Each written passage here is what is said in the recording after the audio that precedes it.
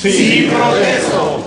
Si así lo hicieran, que la patria y el Partido Acción Nacional se los premien, y si no, que se los... Hoy caminamos hacia una relación de reconocimiento mutuo, de respeto y de vinculación democrática entre el PAN y su gobierno, y muestra de ello es la elección de una nueva dirigencia en condiciones de unidad.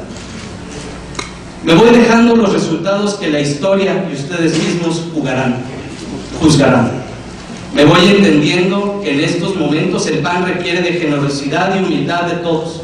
Y me voy satisfecho de haber vivido en carne propia los momentos gloriosos y asiagos que caracterizaron estos últimos tres años.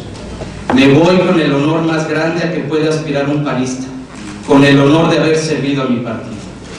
Junto con el equipo que me acompañó, esta dirigencia deja un PAN fuerte y unido, un PAN que vive nuevos tiempos, ya no somos aquel partido pequeño de oposición.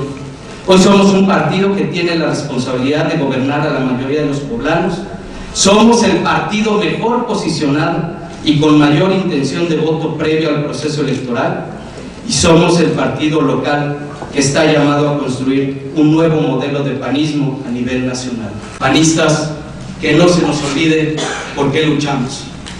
Luchamos por la construcción del bien común, por el respeto inquebrantable de la dignidad de la persona humana.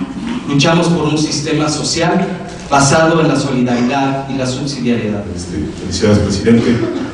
Cuentas conmigo en los próximos años y eh, igual de, con reciprocidad de trato que tuvimos siempre de respeto eh, y camaradería, igual seguirás contando con ello. Muchas gracias, presidente.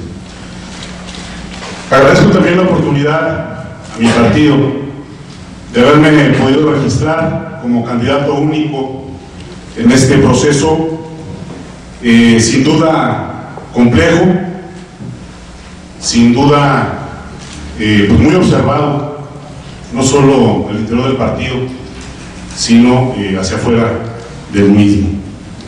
Así como en su momento acudí a las instancias de mi partido para registrarme, ahora me presento ante ustedes miembros del máximo órgano del Partido de Acción Nacional, que es este Consejo Estatal.